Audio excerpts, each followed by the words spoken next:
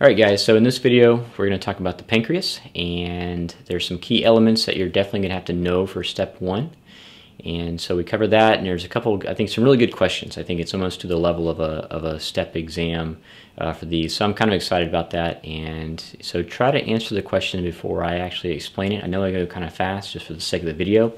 But see if you can answer the questions, you know, hit pause, see if you can answer it before I actually get to it myself. So Hope this is helpful, um, and we'll see you next video.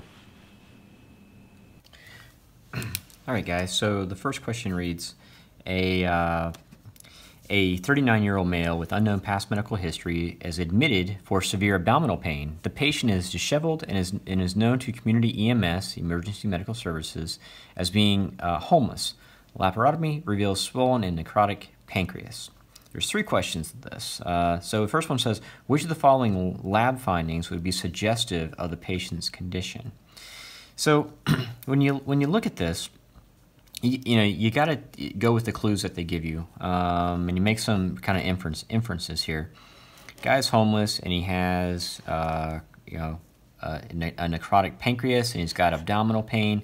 So chances are the diagnosis, as we're going to say, is pancreatitis. Okay, that's going to be pancreatitis. So then we have to make another kind of an assumption here of, well, you know, the guy's living on the street, he's got pancreatitis, um, and so and they might give you more clues, but we also have to suspect that, there, that alcohol might be playing a factor into this, okay? So with that, we would say, which of the following lab findings would be most suggestive of the patient's condition?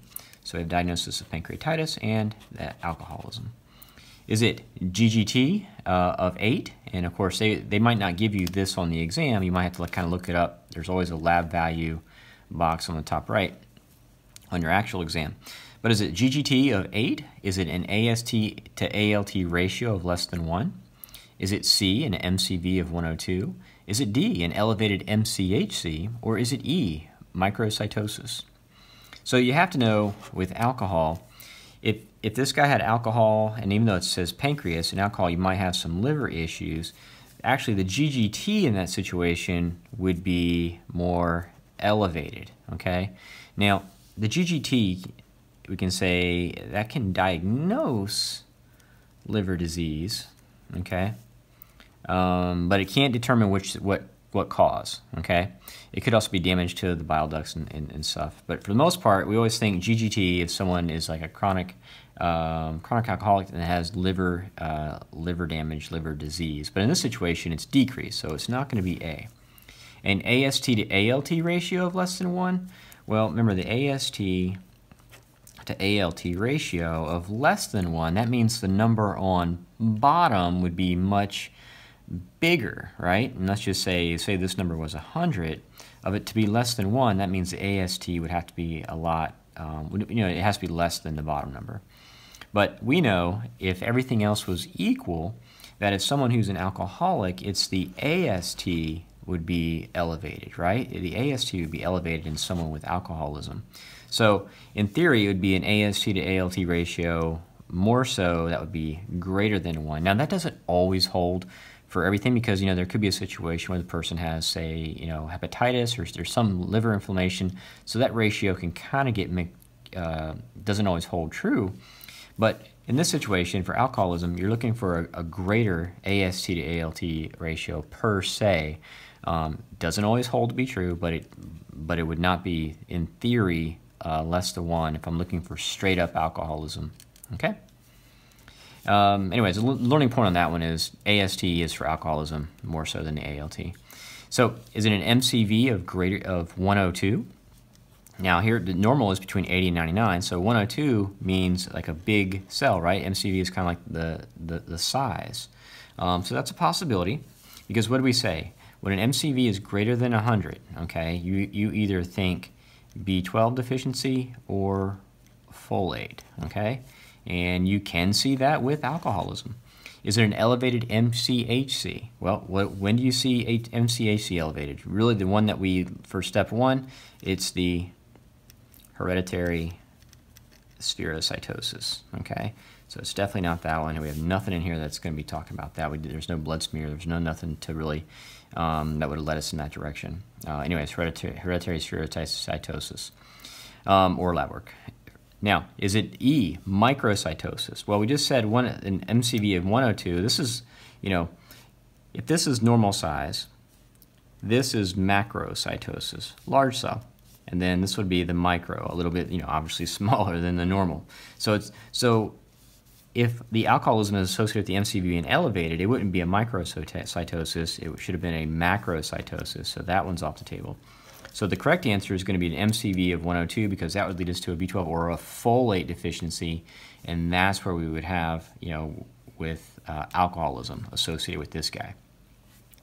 The second, the second question says, activation of which of the following enzymes is most responsible for the patient's condition? And this is the big kind of a, the learning point per se from, for this video is we have to understand the pancreas, okay? We gotta understand the basics of the pancreas. And again, you're trying to tell a story. You start at the mouth and, and, and, and you know, work your way down. So we're at the pancreas. Now, the pancreas is essentially going to, think of the three, there's three things it's going to do, okay? It's going to help with the digestion of, of carbs, lipids, okay, and proteins. Carbs, lipids, proteins. And when, and when it's like expecting food to come down the pipe, uh, you know, it, it it'll, it'll start to activate these guys. But more specifically, when we're talking about these, how it digests the proteins, they call it activation of the brush border enzymes, okay? But for the step one, you're gonna need to know enterokinase or enteropeptidase, okay? Enteropeptidase. Because these guys, activation of the brush border enzymes, enterokinase, enteropeptidase, they activate trypsinogen, okay? Trypsinogen. When it has ogen, ogen means to make. It's going to make, so it activates trypsinogen. Now, trypsinogen itself, as we mentioned, is inactive. But it makes, obviously, to make trypsin. Now, trypsin is active, okay? And it's to get, it's to kickstart these guys. It's to kickstart the digestion for the proteins, which are to be the, well, we're just to write this one one more time, trypsinogen to trypsin, okay? Because they're to call this a feedback loop, right? It's kind of like it's to go back and do the same thing back and forth. Then we have chymotrypsinogen. Now, if it's trypsinogen, it's to make chymotrypsin. Um, chymotrypsin. And then we got this proelastase. Elastase, you know, pro being for, um, and then elastase. Okay? So you got to make these guys are the digestive enzymes for the proteins, right? Because again, the pancreas is going to make what? It's going to digest carbs, lipids, and proteins. And this is the protein ones where they can ask a lot of these questions because, again, activates the brush border enzymes, enterokinase, enteropeptidase, activate trypsinogen, which makes activates makes trypsin, and this is the guy that's going to kickstart this feedback loop. Chymotrypsin, it's going to make chymotrypsin through chymotrypsinogen, and then elastase. Okay, and now for the carbs and lipids, they're pretty easy, right? Carbs, the, the pancreas is going to give us amylase. For the lipids, it's going to give us the lipase, okay? Um, and these are active forms, okay? Active forms. And then there's also this phospholipase A2, kind of a second player, and he's inactive. But anyways, this is the story you have to know. This is the story you got to tell, okay? Is that when you're making your way, you past the stomach, now you're at the pancreas, you got to say, oh, well, I know, how, I know what the pancreas does. It's going to help us with the digestion of carbs, lipids, and proteins. Well, how does it do that? Oh, with carbs, it makes it gives us amylase to do that. With lipids, it gives us lipase to do that.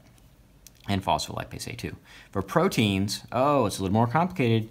We got to get the activation of the brush border enzymes, enterokinase and enteropeptidase, to give us trypsinogen to make trypsin, which will activate the uh, proteases, as they say. And so that's, that's going to give us trypsinogen to trypsin, feedback loop, chymotrypsinogen, and proelastase. Okay, and that'll give us these guys, which are going to help digest the proteins. So, now that you know that story, you have to go back and say, well, activation of which of the following enzymes is most responsible for the patient's condition? Remember, this guy's got pancreatitis. So is it going to be amylase? Is that going to be the one that's going to, uh, you know, kind of dissolve or make a necrotic pancreas? I don't know about that one. Trypsin? Well, maybe. He's kind of the big time player, right? Because he's responsible for all these proteases, these ones that go in there and kind of, you know, dissolve the proteins. But you got to think about that is that when the pancreas gets all backed up for whatever reason, nec necrotic, is that these guys are going to start to turn turn on itself, right? And then that's what's going to create the necrosis. So I like the idea of trypsin. Is it elastase? Well, elastase is just one of these guys. Chymotrypsin, well, he's just one of these guys. And then lipase, well, that's just for the lipids. Okay, I could go, he's the lipids. Amylase is for the carbs. These guys are for the protein. But who's the main player? Who's the biggest player of the bunch that can kind of create or get the get the party started per se to break down this to break down the tissue? It's going to be trypsin. Okay, you got to know this storyline. All right. Now, this one says a 39. It's the same question. It's 39 year old male comes from necrotic pancreas. Now he undergoes surgical procedure for related frostbite right? The guy was homeless. It was during the wintertime. It's a very, very popular scenario on the exam, okay? So listen up real tight here. Patient undergoes surgical procedure for related frostbite and has two of his toes amputated on his right foot. On day five of admission, which is the second day post-op, he begins to demonstrate incoherent speech, confusion, and hallucinations. Which of the following is the likely cause of the patient's current state? All right, so what are you thinking? You, you, know, you have to make another inference here. Well, we knew that the guy was an alcoholic, right? But then what's also in play is he's post-op amputation. So is it A, opioid intoxication? Is it B, uh, liver impairment? Is it C, opioid withdrawal? Is it D, pain not being addressed properly? Or is, or is it E, uh, alcohol withdrawal? Well, you know, you, they want you to bite. I'll tell you this, and that's why I even, I even put this in choice A. They want you to, to bite on that his confusion, his incoherent speech would be indicative of like some type of intoxication or something to do with his surgery, you know. But at the end of the day, this guy was an alcoholic, and now he's five days out. He's having some type of complicated withdrawal and when you throw in incoherent speech, confusion, hallucinations, this guy's going through delirium tremens. Okay? This guy's going through alcohol withdrawal. And they like to hide it behind some procedure, some medication. But at the end of the day, if you remember, the guy's an alcoholic. He's now five days out. And usually when you're like, say, 24 hours out, 20, 24 hours from your last drink, you know, that's when you have the highest risk uh, I should say, you know, 12 to 24. But 12 to 24 hours is your highest risk for seizures. After that, it starts going down. But then when you get to day five, you know, day five through seven, you know, or as they say, even 48 hours to 96 hours, um, you're looking at the guy could go through uh, DTs, okay, delirium tremens. And that's when you're going to get the disorientation, orientation, hallucinations, increase autonomic stability, hypertension, febrile, etc. And it's not like you have all of them, but it's more of a, you know, you're going to see a lot of these symptoms. And we just had this like on our, uh, you know, kind of where I work, we had a guy, normal as could be, but when he hit day three, um, when he hit day three, I think he just tanked like a stone um, and went through this. So be aware that they're going to probably, you know, kind of hide this kind of hide this into a second or third question down the line of someone who went through some procedure. But if you see, you know, if you see some guy, and again, we're making some inferences here. If he's homeless, uh, maybe they give you a lab value, an elevated uh, GGT, um, you know, MCV, folate deficiency, anything that leads to alcoholism, be aware that this, that this question might be asked like that. This one says a 53 year old man presents with acute onset abdominal pain radiating to his back, nausea, and vomiting. Uh, CT scan suggests diagnosis of acute pancreatitis. The pathogenesis of acute pancreatitis relates to the inappropriate activation of trypsinogen to trypsin. Okay, which of the following activates trypsin in normal digestion? Amylase, lipase, cholecystokinin, enterokinase, or phospholipase A2. Now, you should be jumping all over this one, but just to kind of review, we're in the pancreas, right? And we say that the pancreas is going to help us digest carbs, lipids, and proteins. Okay, and it's going to do that real quick. Carbs with amylase, lipids with lipase or phospholipase A2. Okay, or it's going to it's going to allow proteins to be digested by the proteases. And this is where we're going to say it's the trypsinogen to uh, trypsin. It's the chymotrypsinogen to chymotrypsin. And it's the pro elastase to elastase, elastase.